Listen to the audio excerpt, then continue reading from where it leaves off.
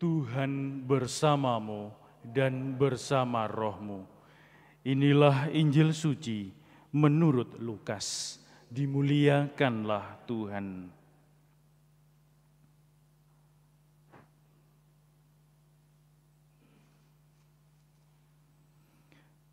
Ketika genap waktu pentahiran menurut hukum Taurat, Maria dan Yusuf membawa kanak-kanak Yesus ke Yerusalem untuk menyerahkan dia kepada Tuhan. Seperti ada tertulis dalam hukum Tuhan, semua anak laki-laki sulung harus dikuduskan bagi Allah. Juga mereka datang untuk mempersembahkan kurban menurut apa yang difirmankan dalam hukum Tuhan, yaitu sepasang burung tekukur atau dua ekor anak burung merpati adalah di Yerusalem seorang bernama Simeon. Ia seorang yang benar dan saleh hidupnya, yang menanti-nantikan penghiburan bagi Israel. Roh Kudus ada di atasnya, dan kepadanya telah dinyatakan oleh Roh Kudus bahwa ia tidak akan mati sebelum melihat Mesias, yaitu Dia yang diurapi Tuhan. Atas dorongan Roh Kudus, Simeon datang ke Bait Allah. Ketika kanak-kanak Yesus dibawa masuk oleh orang tuanya untuk melakukan apa yang ditentukan hukum Taurat. Simeon menyambut anak itu dan menatangnya sambil memuji Allah katanya, Sekarang Tuhan, biarkanlah hambamu ini pergi dalam damai sejahtera sesuai dengan firman-Mu. Sebab mataku telah melihat keselamatan yang darimu, yang telah engkau sediakan di hadapan segala bangsa, yaitu terang yang menjadi pernyataan bagi bangsa-bangsa lain dan menjadi kemuliaan bagi umatmu Israel. Yusuf dan Maria amat heran akan segala sesuatu yang dikatakan tentang kanak Yesus. Lalu Simeon memberkati mereka dan berkata kepada Maria, ibu anak itu, Sesungguhnya anak ini ditentukan untuk menjatuhkan atau membangkitkan banyak orang di Israel dan untuk menjadi suatu tanda yang menimbulkan perbantahan dan suatu pedang akan menembus jiwamu sendiri supaya menjadi nyata pikiran hati banyak orang.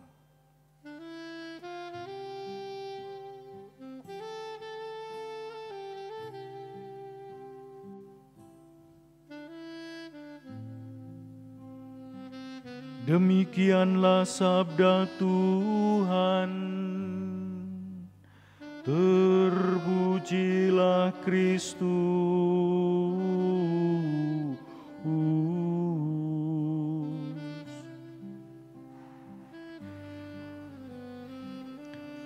Para saudara terkasih, seperti kelahiran seorang anak, anak mana pun, kita tahu bahwa kegembiraan itu meluap. Orang keluarga yang biasanya tanpa harapan bertahun-tahun tidak punya kegembiraan karena belum ada buah hatinya, lalu lahir, wah itu satu kegembiraan yang luar biasa. Dan kegembiraan itu memberi satu cahaya, satu terang, satu harapan baru dalam hidup mereka. Tetapi seorang ibu yang seorang ibu pun pasti tahu bahwa anak ini tidak hanya sekedar membawa kegembiraan, tetapi juga persoalan. Kenapa? Ya nanti demi hari demi hari persoalan itu akan datang. Hal-hal yang tidak menyenangkan. Yang tadinya bisa pergi ke mana-mana dengan bebas, sekarang di rumah terus selama bertahun-tahun awal, nggak sudah ditinggal. Yang tadinya bisa tidur nyenyak, sekarang tidak bisa tidur nyenyak lagi, harus merumat anak ini jika tengah malam bangun. Kem, uh, hal-hal nanti sekolahnya gimana, nanti kalau ini gimana, sakit gimana. Hal-hal itu menjadi penyerta tidak hanya kegembiraan tetapi juga persoalan kalau dilihat persoalannya. Maka kehadiran Yesus Allah yang menjadi manusia itu, Natal itu tidak hanya membawa cahaya dan kegembiraan.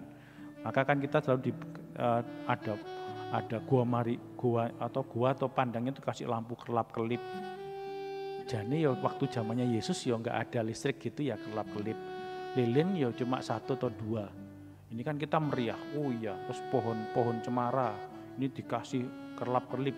Ya zaman Yesus itu ya nggak ada begitu-begitu. Yang ada cuma kesedihan, kebimbangan, kebingungan, kegelapan. Tetapi di tengah kegelapan itu, Maria dan Yusuf punya satu keyakinan bahwa anak mereka akan juga membawa sesuatu bagi hidup mereka. Dan itu dinyatakan Simeon hari ini. Anakmu ini akan menjadi terang bagi bangsa-bangsa yang akan menjadi orang harus memilih ikut dia atau tidak supaya jelas hati, pikiran dan hati setiap orang. Tetapi sebilah pedang akan menembus jiwamu sendiri untuk Maria ini. Bagi setiap ibu dan set, set, semua keluarga yang mengalami hal itu.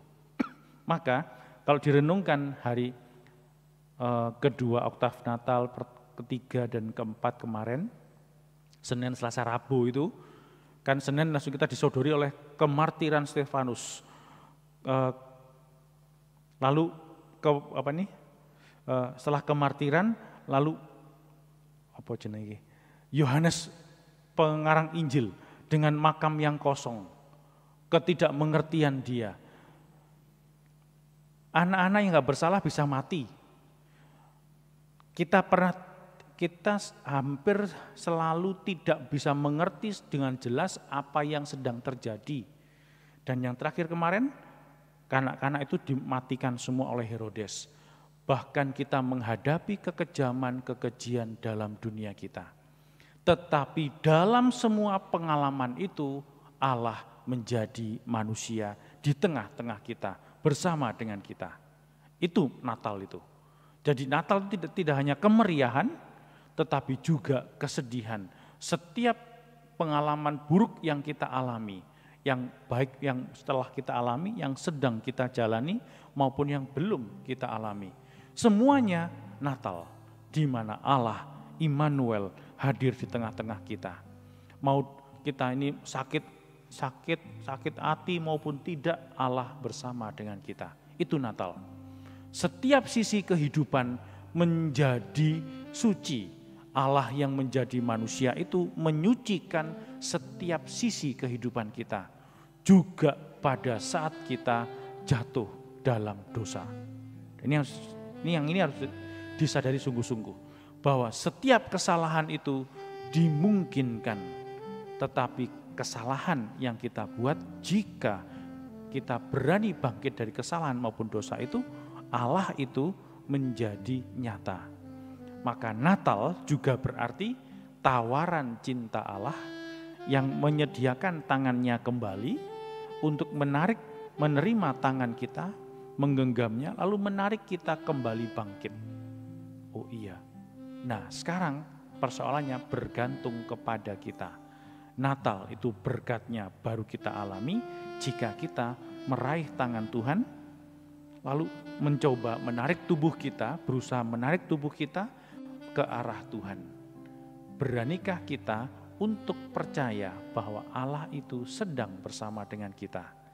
Apakah kita juga berani percaya bahwa di tengah-tengah segala kesulitan kesesakan kita saat ini, kita tetap disertai dan diberi harapan baru oleh Tuhan? Itu bergantung kepada kita bergantung kepada keluarga pasangan masing-masing. Rahmatnya baru kita alami jika kita berani mengulurkan tangan, menanggapi tawaran kasih Tuhan tadi itu, lalu berusaha menarik diri kita mendekat kepada Tuhan dengan cara apa pun setiap hari.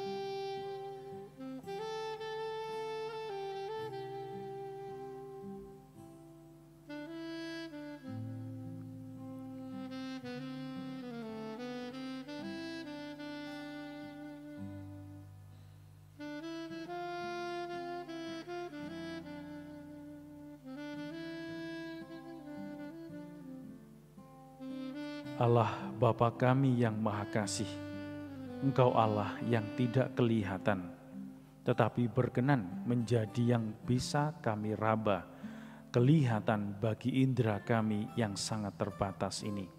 Engkau yang menciptakan waktu, sekarang masuk dalam adanya waktu terbatas bersama dengan kami, mengalami setiap konsekuensi menjadi terbatas, menjadi lemah dan tidak berdaya.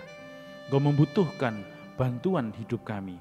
Engkau yang maha kuasa, yang punya segala sesuatu, menjadi tidak punya segala sesuatu, agar kami mengerti bahwa hidup kami senantiasa kau sertai dan kau berkati dengan rahmat-rahmat yang kami perlukan. Kami bersyukur atas rahmat kasih-Mu itu yang dengan setia kau anugerahkan kepada kami bersama dengan Ananda Thomas yang berulang tahun hari ini. Kami percaya apa pun yang sedang dia alami dan yang telah kau izinkan untuk dialami, memberikan warna dalam hidupnya.